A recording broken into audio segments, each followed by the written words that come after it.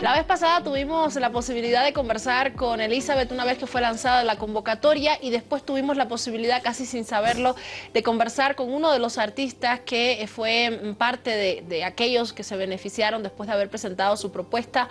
Habló de Andoro, luego se llegaron acá para hablar de la reposición del regreso, que también fue otro de los proyectos. Prontamente vamos a conocer detalles del documental A Chachilas, que ya está en un momento culminante de su producción muy interesante. Van a ver algunas imágenes en el camino de la entrevista y queremos conocer básicamente qué es lo que se ha lanzado como segunda oportunidad, segunda versión. Ya se realizó el lanzamiento oficial en Santa Cruz de la Sierra, lo hemos reflejado acá en un pequeño, en un pequeño espacio del programa y hoy se encuentra junto a nosotros Elizabeth, como siempre apoyando este ámbito e interesándonos para que los artistas puedan conocer los detalles directamente desde nuestro espacio. Eli querida, bienvenida, gracias por estar acá. Gracias Te agradezco. y a todos los amigos y amigas. Eh, justamente hemos lanzado el pasado 29 de mayo la segunda versión del Fondo Proculturas y en esta ocasión también con las mismas categorías de eh, audiovisuales y de em, artes escénicas o espectáculos.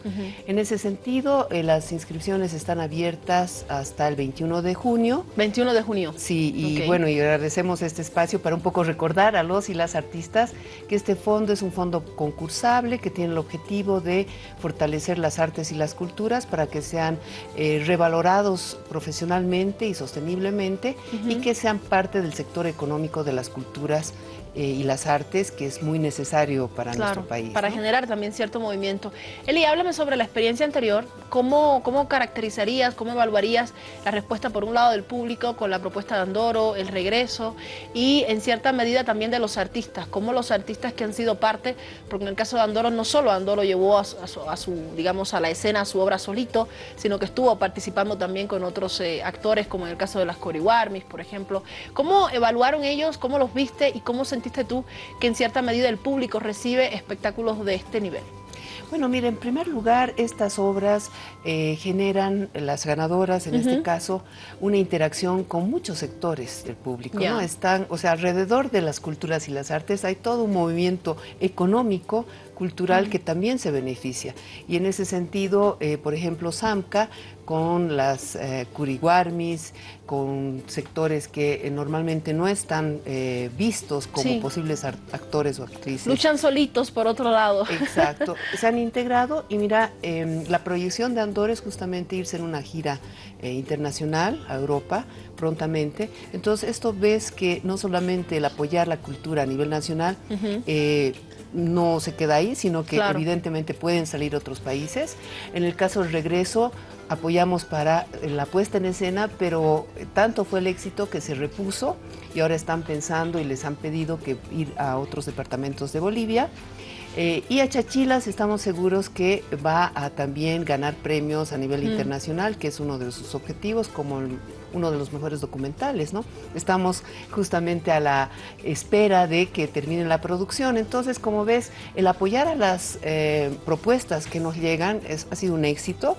Eh, estamos seguros que se van a presentar otros tantos hasta el 21 mm. para poder justamente seguir fortaleciendo con este fondo concursable.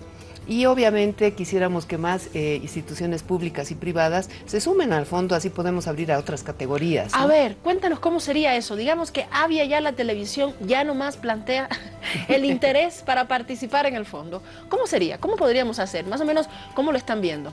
Bueno, mira, podría haber diferentes formas, ¿no? Nosotros damos, eh, junto con el Banco FIE, un fondo económico. Para la realización de proyectos, dígase así. Exacto, para la realización. Pero ya el proyecto tiene que estar pensado, tiene que como que presentarse la idea, un poco enamorarlos a ustedes, convencerlos de que es una buena propuesta. Claro, y concursar. Entonces, em, por un lado estás como auspiciante, eh, que eso queremos que más instituciones públicas y privadas se sumen. Claro. Puede ser con un monto económico o puede ser con un apoyo en la difusión y, y promoción, por decir lo que estamos haciendo ahorita en el programa que tú siempre lo haces apoyando a las culturas. Gracias. Podemos pensar en algo más sostenible, ¿no? Claro. Para poder tener eh, después la difusión de los ganadores eh, o hacer más publicidad para que esas obras ganadoras que se presenten tengan más público. Ah, porque a veces falta, ¿no? Claro, Exacto, falta la promoción y la difusión. Mm.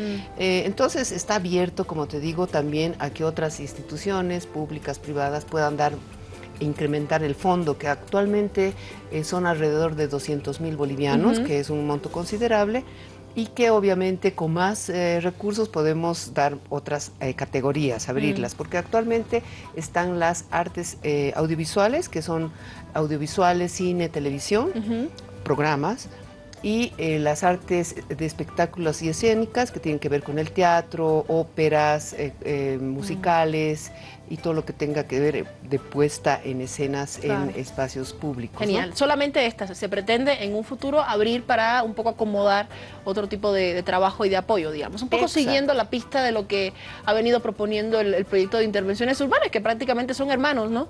Con, con el fondo. Se han estado lanzando como casi ahí el mismo año, o casi un poquito después, pero interesante porque son dos opciones que los artistas tienen. Yo recuerdo que en esa época sentía que todos estaban corriendo para presentar al FOCUART. Después corriendo antes para presentar al, Procultura de Viva, luego corriendo para presentar a intervenciones. Y las quejas que recibía o que escuchaba así como que en pasillo era que Focuar pedía muchos documentos y que era difícil y que era complicado y que, pucha, que tiene una firma, que no sé qué, ¿verdad? Luego Procultura es mucho más sencillo, intervenciones mucho más sencillo. Entonces, en esa medida, como que uno ya va como que pesando, ¿no? El aporte no solo económico, sino también de gestión, que sabemos que es importante para los artistas. Totalmente. Es cuestión de que entren a las bases del concurso que están en nuestra página web fundacionviva.org descargar las bases de concurso de acuerdo a las dos categorías y ver qué es sencillo, pero sí cumplir con todos los pasos para que justamente no sean descalificados, ¿no? Claro. En ese sentido, creemos que es fundamental ver eh, todas estas obras de arte y culturas como parte de las industrias culturales, para que realmente se valoren a los y las artistas como profesionales eh, económicamente sostenibles y que dan trabajo a otros sectores, como todo lo que rodea una obra de teatro, por ejemplo Claro, se va enlazando. exactamente, se va amplificando. No solamente apoyas a una obra, sino que apoyas por detrás a bailarines, a cantantes, a coreógrafos. Y los impulsas, ¿no? Porque me imagino que también ha apoyado ello a que Andorra esté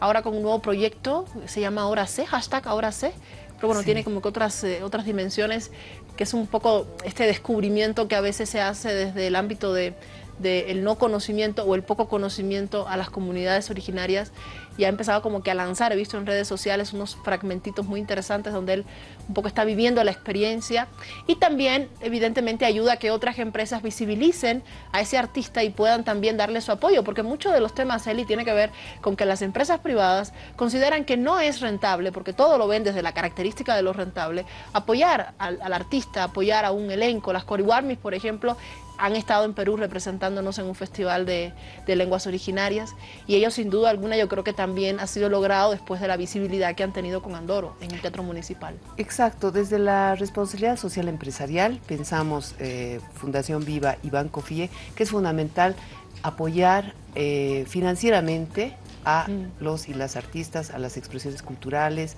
a las artísticas que eh, realmente apuntan a fortalecer la identidad cultural también boliviana, porque en muchas de las propuestas estamos hablando de eh, un arte contemporáneo eh, que tiene una identidad cultural, que dialoga interculturalmente con otras culturas y otros espacios. Y entonces eso es lo, bello, ¿no? Que realmente puedas ver la multiplicidad de expresiones culturales y la interculturalidad de todas esas expresiones en nuestro país y obviamente sacar todo lo que se hace, lo hermoso que se hace en este país al mundo. Mm, sería genial. Eli, te agradezco muchísimo que no se diga más, pues que busquen directamente, allí están los datos, si ya usted ve la, imagen en pantalla, tienen hasta el 21 de junio. 21 de junio, así que por favor descarguen sus eh, convocatorias en fundacionviva.org. No importa que sea feriado, Eli. No, no importa. es feriado, es año nuevo, andino amazónico. Exacto. Por eso te pregunto, porque hasta las 12 de la noche. Muy bien. Gracias, Eli, te agradezco muchísimo. Muy bien. Ahí está toda la información. Revise usted la página de Facebook de la Fundación Viva para que pueda conocer evidentemente los detalles y desde ya preséntese, presente su proyecto tomando en cuenta estos elementos que son como que el as bajo la manga de aquellos que estarán evaluando cada una de las propuestas. Ya regresamos, no se nos vaya.